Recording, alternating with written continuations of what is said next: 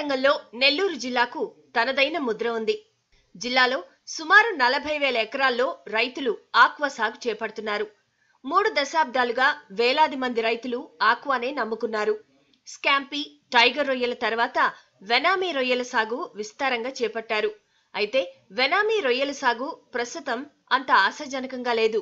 బొచ్చ గండి రాగండి ఎర్రగండి రూప్చంద్ గడ్డి రకాల చేపల సాగులోనూ పెద్దగా ఆదాయాలు రావడం లేదు. దీంతో ఇతర రకాల చేపలు రొయ్యల సాగుపై ఆసక్తి చూపుతున్నారు.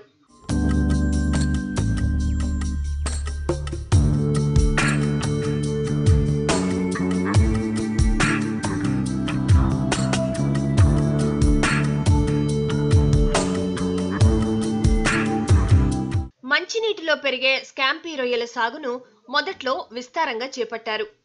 పెద్ద ఎత్తున లాభాలు పొందారు. రాను రాను వాటిలో వైరస్ రోగాలు ఎక్కువ కావడం సైజులు రాకపోవడంతో ఉప్పు నీటిలో పెరిగే టైగర్ రొయ్యల సాగు వైపు మళ్ళారు. టైగర్ రొయ్యల్లో ప్రపంచ ఖ్యాతిని నెల్లూరు రైతులు సొంతం చేసుకున్నారు. ఆ తర్వాత టైగర్లోనూ వైరస్ ఎక్కువైంది.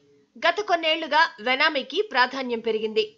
వెనామీలోనూ మొదట్లో మంచి లాభాలే వచ్చాయి.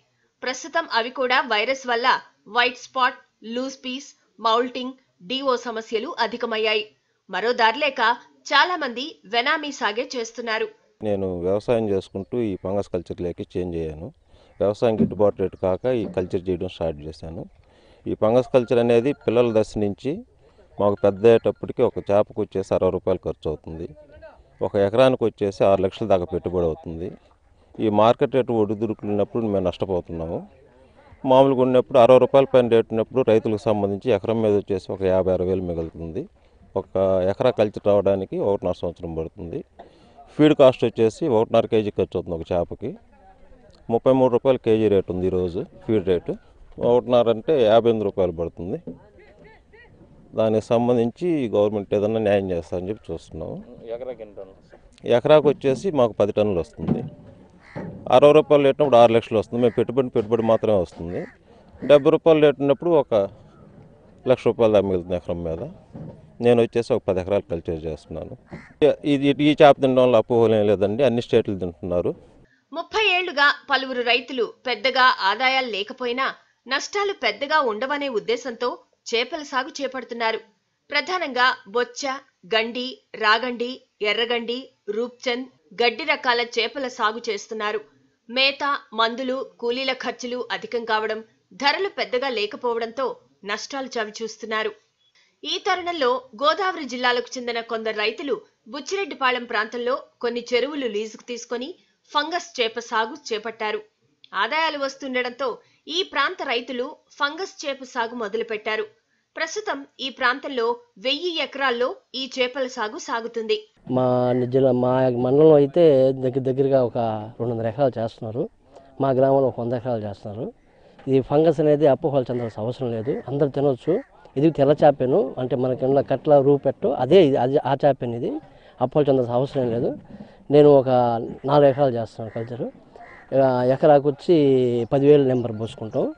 దానివల్ల పదివేలు నెంబర్ పోసుకుంటే ఫస్ట్ చిన్న పిల్లల టైంలో ఏంటంటే తౌడు చెనక చెక్క నూకేసి సాకటం ఐదు నెలల దాకా. ఐదు నెలల నుంచి కంపెనీ ఫీడు మనకి ఒరిజినల్ ఐఎస్ మార్క్ జిఎస్టీ ఉండే మార్క్ నుంచి వస్తాం.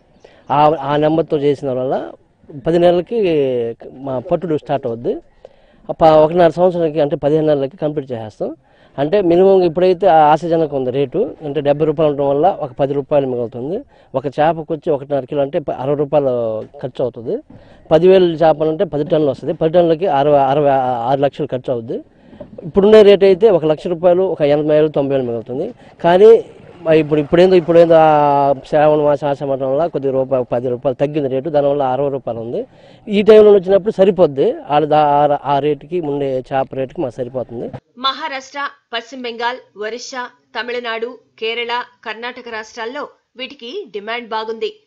కిలో ఫంగస్ చేప ధర అరవై రూపాయల నుంచి డెబ్బై రూపాయల వరకు ఉంటుంది. ఇప్పుడిప్పుడే విదేశాలకు ఎగుమతులు మొదలయ్యాయి. ఈ చేప నుంచి తీసే నూనెతో కొన్ని రకాల మందులు తయారు చేస్తారు.